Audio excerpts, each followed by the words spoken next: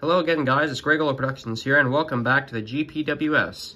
And today we're going to be working on this Ingersoll Midget dollar watch here. So, it's it's funny, you know, for the last oh, two years straight, basically, around Christmas time, we end up working on a dollar watch. And that's not, that's not intentional. This video I'm shooting here was originally going to be about Westclox dollar watches or pocket Bens or something. I was going to pull out one of those from the night of a thousand and one dollar pocket watches and work on that. But I decided I decided I didn't feel like it and I decided to work on this instead. So here we go. An Ingersoll Midget. I don't believe there is a service for these on YouTube as of yet. This is the first time I'll be dealing with one. So we're going to get in here and we're going to see what's cooking. Also, uh, just before we, well, before we look at that closer, what the heck is this stuff? Is that that almost looks like paint. Yeah, I'm not sure what the heck that is. That could be corrosion or paint or something else. I couldn't tell you. And now that we just got this thing really close up, look at the detail on this. Isn't that great?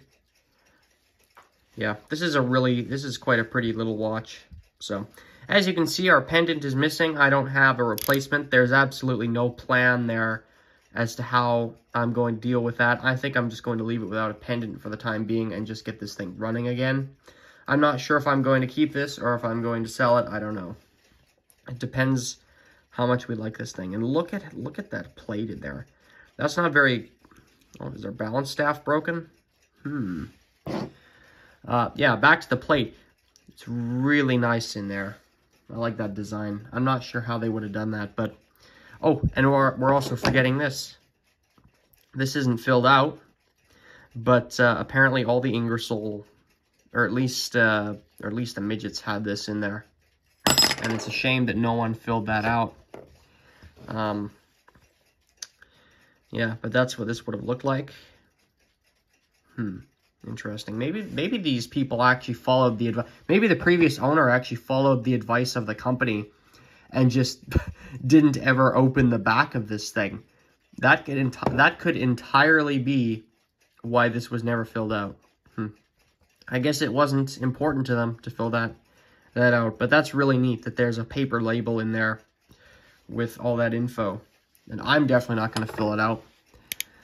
Okay, is that balance staff broken? Generally, when you see a staff not really moving, that's not a good sign. Either that it could be super dirty or the staff itself could be broken. I don't know. This thing is fully wound. So obviously it's not running. Move our regulator, see if that does anything. Hmm. It doesn't appear to want to move there. There's a screw here. I'm thinking this is the first one I'm supposed to undo. So we'll just put our case back aside. This is all in really decent shape for the most part. There's a few scratches and stuff, but we're not doing too bad on that front. And this is a strange land for me. I've never been inside this particular watch before, so we're going to see just how this goes. So, let me see here. If our balance staff is broken, I can't fix that right now. And I see there's a tiny little screw right there. Okay. I guess I know where to start undoing them then. I know where to start at least. Let's see if this crown comes off or how this all, how this is meant to come apart. Is this too big? Oh, no, it's just the right size. Wow, I thought this, okay. So right off the bat, this is already coming out.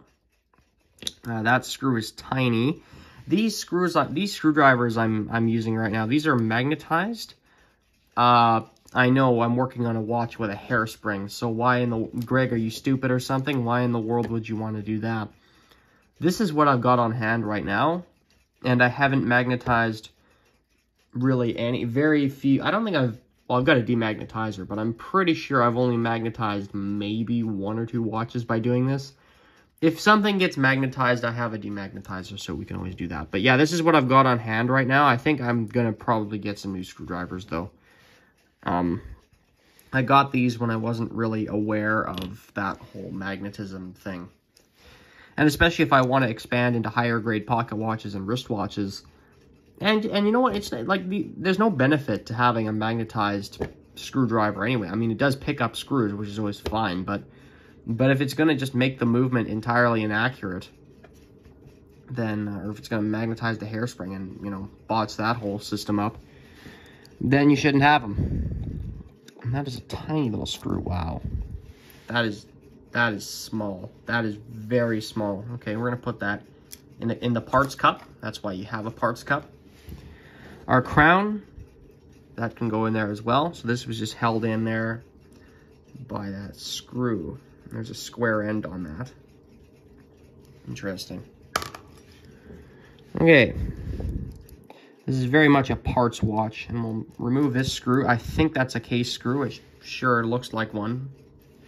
Has all the hallmarks of one. It's on the outer rim, and it's bigger than all the others, and it looks like it's overhanging this, this outer layer.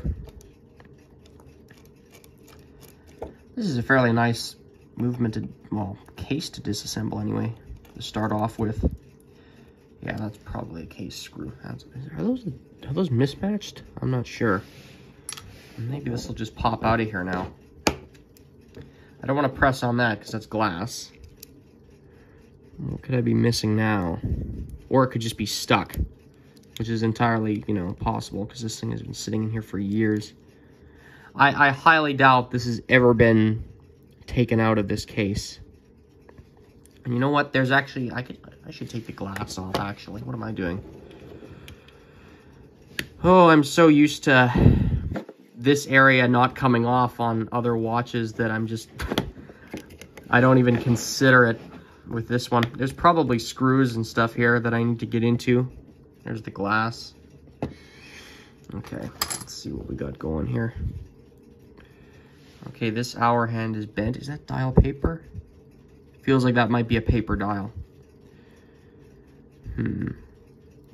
Okay, maybe I'm supposed to... Oh, yeah, there we go. Okay, that's how that... That's the key. So, yeah, you press it through like that. So then there's our case. There's our movement out of our case. It's a tiny little movement. And I play with this. This doesn't feel broken. So we're just going to see. We might just dab some oil on this thing. I, uh, that's obviously not a proper repair, but we might just dab some oil on this and just see if it'll even want to start. Like, that's that's what I'm kind of curious about. Here's our dial and hands. It's very cute, this little guy. He's very small. I'm just going to use my case opener to get these hands off. I think... Okay. Uh, yeah. Um, I didn't even get to finish that sentence. We're using the case, we use the case opener because it just seems like a good tool for the most part. And I might just be able to lift this off by hand here. Yep, there it goes. That's bent. I'll have to straighten that. This is coming apart remarkably easy at the moment. How does this... Oh, there's tabs. Oh, shoot. Everyone's favorite game. Unbend the tabs. And yeah, this is, this is a paper dial, so I shouldn't be playing around with with stuff. Okay, we're just gonna be very gentle and unbending these things. I can't really get a good grip on it, so I'm gonna have to go in like that kind of and pry it up. Oh, shoot. Unbend the tabs, my favorite. Yeah, you gotta be very careful with that system. Okay. Okay, that's I've got my screwdriver in there. Very, very slow, very careful. I'm just gonna do this instead because this seems smarter.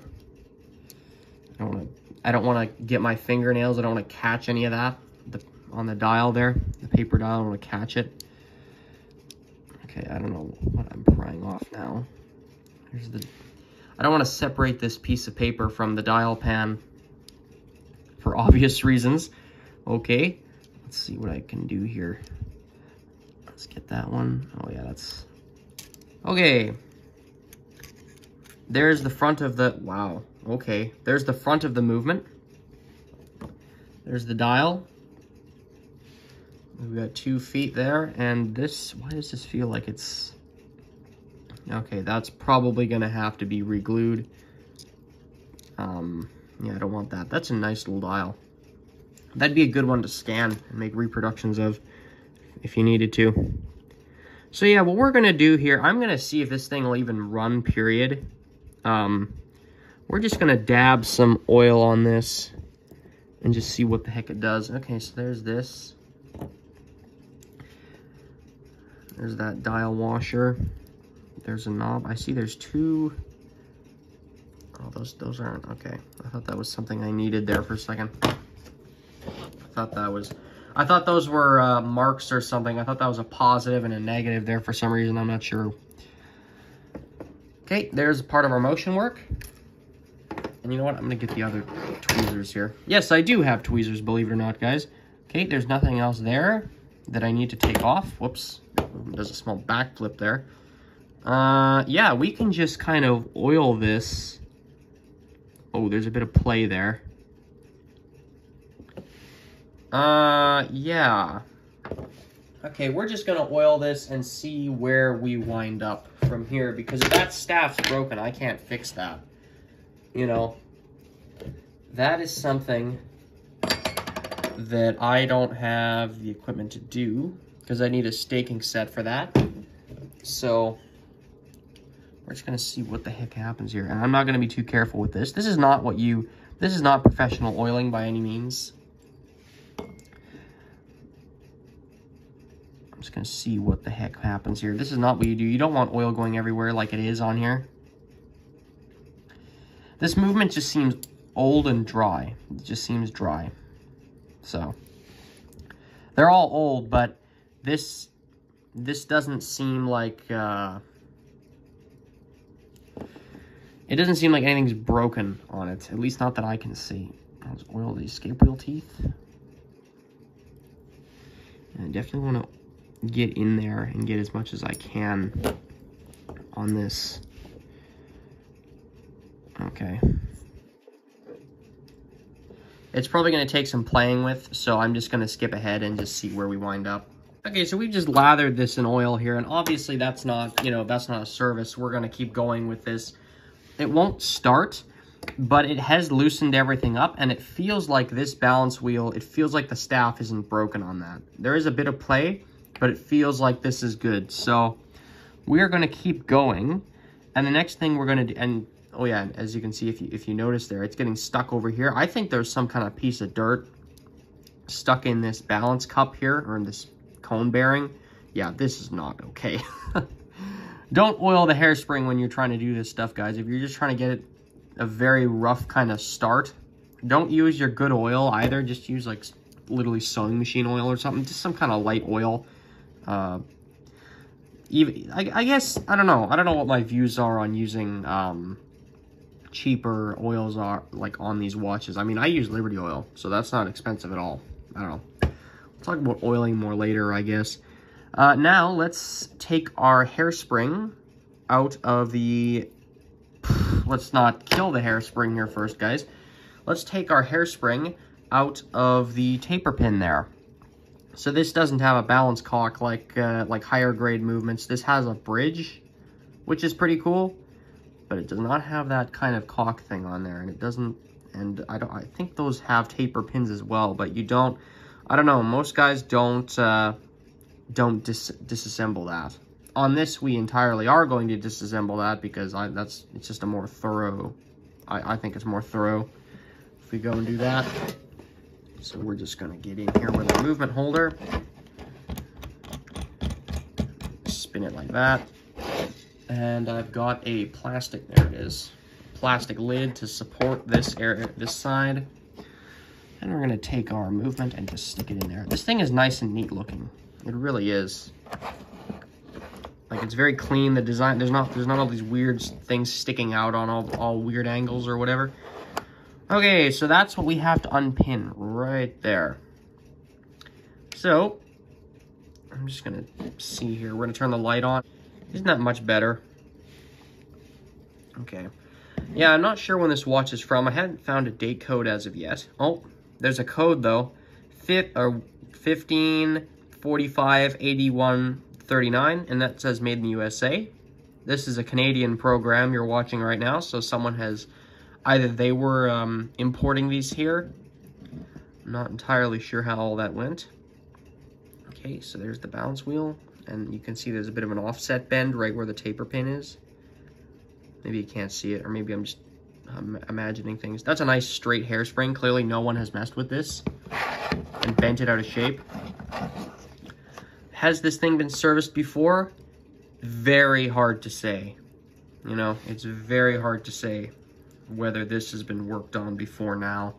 Um, and yes, guys, I will work on getting some finger cots. I want to research that whole thing more, but, you know, it is entirely possible to get your fingerprints on here, I'm thinking, and that's not good. You don't want to do that because that's just a sloppy job. Okay, we'll get our tweezers in there. Need, obviously, bigger ones.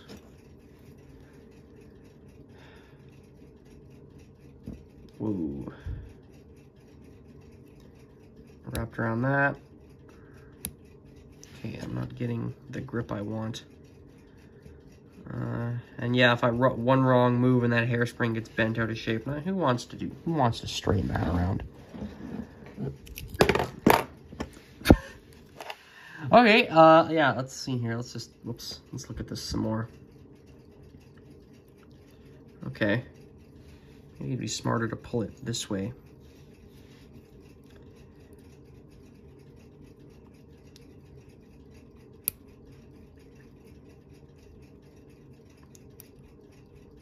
You know what? I need a surface to actually put this on. I can't do it in the air like that. That's how you slip. That's how all kinds of disasters take place. Okay, so there's our taper pin.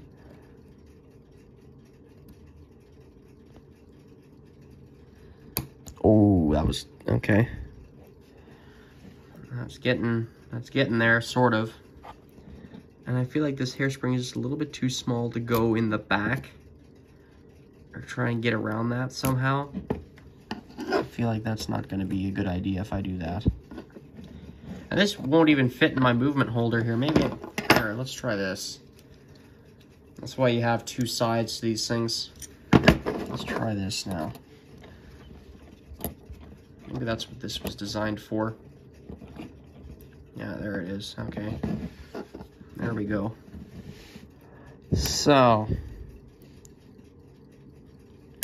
Oh, shoot. Yeah, I might need my actual pliers to do that. These things are tight. Uh, it's too big, isn't it? Yeah. Oy, oy, oy. Okay. Hmm.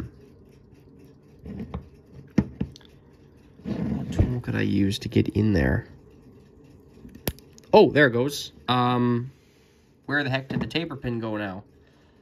I pulled it out. Oh, okay. For a second there, guys, I thought I lost it, but no. Uh, lesson learned. Okay.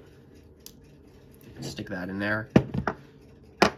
And then if we pull this out, we can, yeah, there it goes. It's all loose now. take a toothpick and just help it along there a little bit. Turning the wheel back.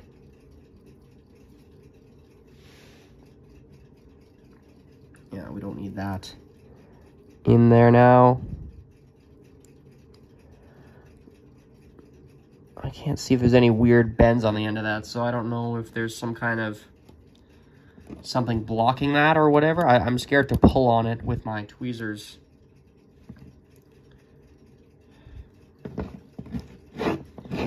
Although we might have to because it doesn't look like there's anything, doesn't look like there's any other way. Pull very gently. Okay, phew, I thought sometimes hairsprings, they'll have a weird little bend on the tip somehow, and it'll essentially lock them in place. And with the with a, a balance setup like this, you don't want that. Because you basically don't have access to it. Really at all.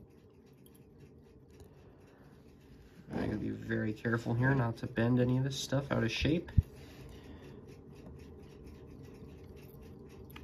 well, bend any of this stuff. I say the hairspring. You can't bend, you don't want to bend that.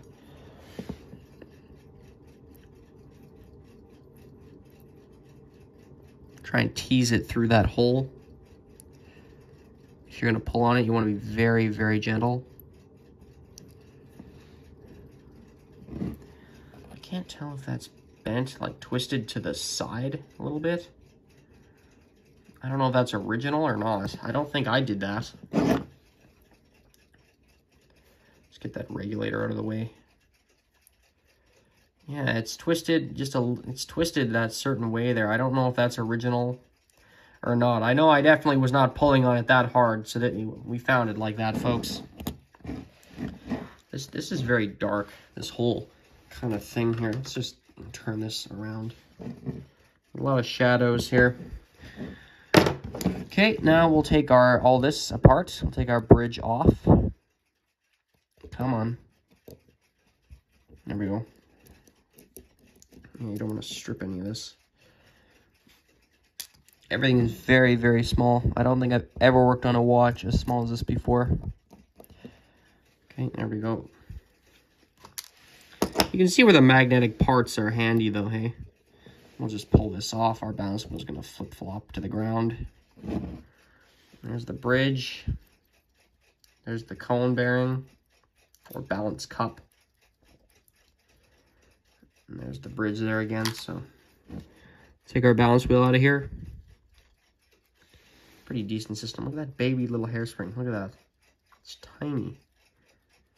Tiny, tiny, tiny. We'll deal with him later. I'm gonna put him in the in the parts cup. Oh, and but actually, let's look at that staff while we've got this thing open here. Oops. Let's look at this side. That's definitely not broken. And neither is that side there. Okay, well, we're just to leave it at that then. This, now we've got all this open here. See how the thing looks like increasingly less complicated as we go along? That's, that's exactly, you know, that's, that's how this stuff turns out. So, you know, when you take bridges off and stuff, and then suddenly you just have a base kind of movement there. Yeah. So, anyways, guys, thank you for joining me through the first part of this Ingram, or sorry, Ingram, let's try that again, Ingersoll midget. And we will be back in the next part to disassemble this movement. And, well, first we'll let the mainspring down, then we'll disassemble this movement, and then we'll start cleaning it. Thank you guys, and have a good day.